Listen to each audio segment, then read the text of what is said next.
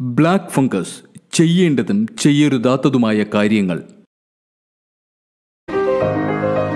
Covid രോഗികളിലും Covid മുക്തരായവരിലും ഇപ്പോൾ മറ്റൊരു fungal ബാധ കൂടി കണ്ടെത്തുന്നതായി പുതിയ ആശങ്ക.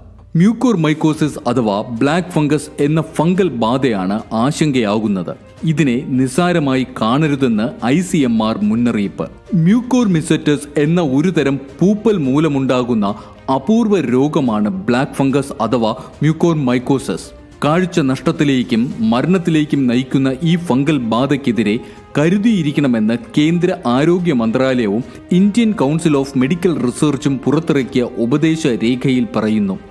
ഫംഗസ് ബീജകോശങ്ങൾ ശ്വാസത്തിലൂടെ ഉള്ളിലേക്ക് കടക്കുന്നത് സൈനസിനെയും ശ്വാസകോശത്തെയും ബാധിക്കുമെന്ന് മാർഗരേഖയിൽ പറയുന്നു. മാത്രവുമല്ല കണ്ണിനും മൂക്കിനും ചുറ്റും വേദനയും ചുവപ്പും പനി തലവേദന ചുമ ശ്വാസം മുട്ടൽ രക്തം ഛർദ്ദിക്കൽ മാനസികാവസ്ഥയിൽ വ്യതിയാനം തുടങ്ങിയവയെല്ലാം ബ്ലാക്ക് ഫംഗസിന്റെ ലക്ഷണങ്ങളാണ്. എന്നാൽ അനിയന്ത്രിതമായ പ്രമേഹവും കോവിഡ് ചികിത്സയ്ക്കായി കഴിക്കുന്ന സ്റ്റിറോയിഡുകൾ പ്രതിരോധ സംവിധാനത്തെ അമർച്ച ചെയ്യുന്നതും ദീർഘകാല ഐ സി യു വാസവുമെല്ലാം ഇതിലേക്ക് നയിക്കുന്നതായി ഐ സി എം ആർ ചൂണ്ടിക്കാട്ടി. പ്രമേഹം നിയന്ത്രിച്ചും പ്രതിരോധ സംവിധാനത്തെ അമർച്ച ചെയ്യുന്ന സ്റ്റിറോയിഡുകൾ കുറച്ചും ശരീരത്തിലെ നാശം സംഭവിക്കുന്ന കോശങ്ങളെ നീക്കം ചെയ്തുമൊക്കെയാണ് ബ്ലാക്ക് ഫംഗസ് ചികിത്സിക്കുന്നത്. ഇനി ചെയ്യേണ്ട കാര്യങ്ങൾ.